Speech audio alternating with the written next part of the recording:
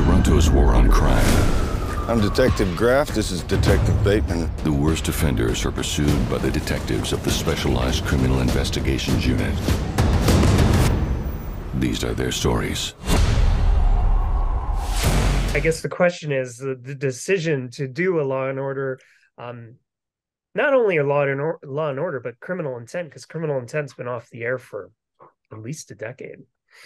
Criminal Intent has been franchised in other parts of the world. I think they did Criminal Intent Russia, Criminal Intent France.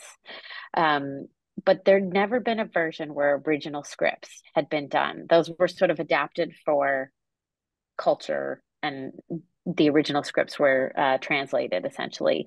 So this was when we first started talking to Wolf Entertainment.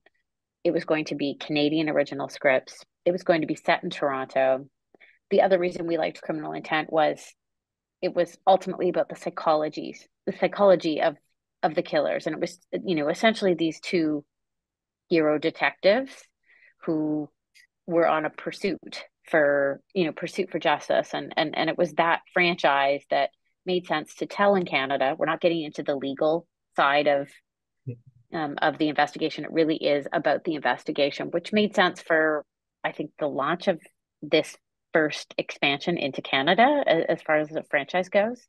Tassie, what can you tell me about some of the cases? Well, I think that some will not surprise you and some will. I think some of the some big ones that people might expect we are telling in season 1 uh, we aren't and maybe we'll tackle in season 2. You know, you're really trying to make sure that you're tackling uh, handling a mix of different stories with different motives, different kinds of killers, different kinds of victims, different kinds of socioeconomic worlds.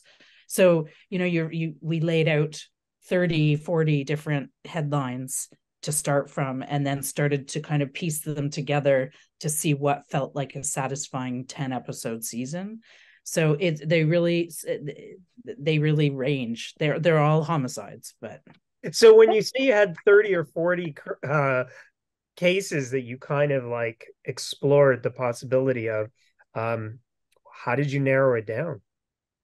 You can when you're talking with a group of writers and you're sort of talking around a headline you can see people's eyes light up and people start to get greedy because they want that headline. That's a good that's a good sign that it's that there's something interesting in there.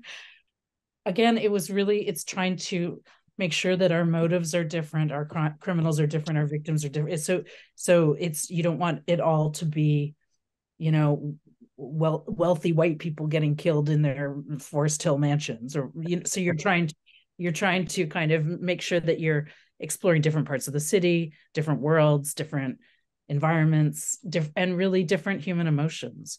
And so you when you start to look at headlines they start to break down into into emotions.